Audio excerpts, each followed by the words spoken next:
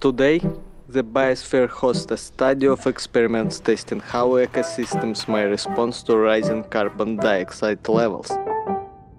Originally, the Biosphere 2 was built to simulate a self-sustaining colony on Mars, but that didn't go exactly as planned.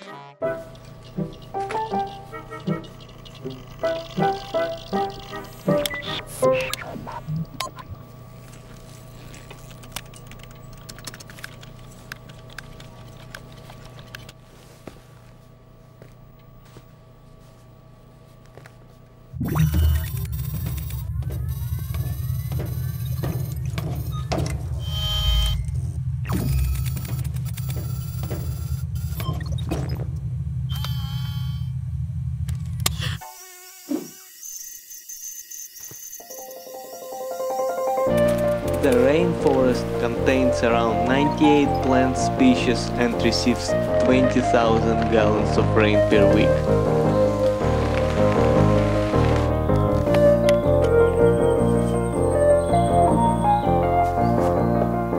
Our cashmere system adapts well to the light rain. The savanna allows for a range of appropriate insulation systems.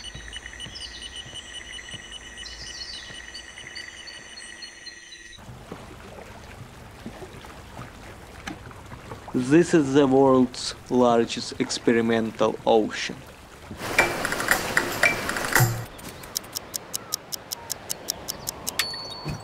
Take note, our cashmere successfully provides a comfortable layer to combat the coastal breeze.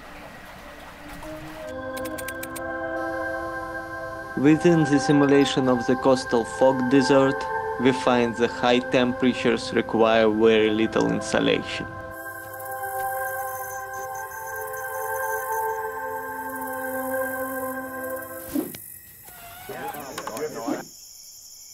Really hot here.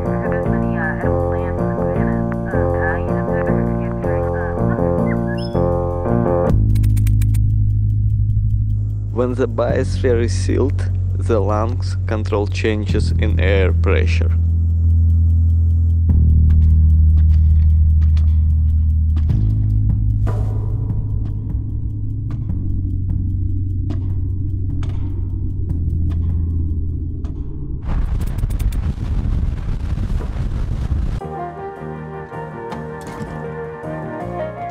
Through ongoing testing, we continue to research the best cashmere insulation system for every environment.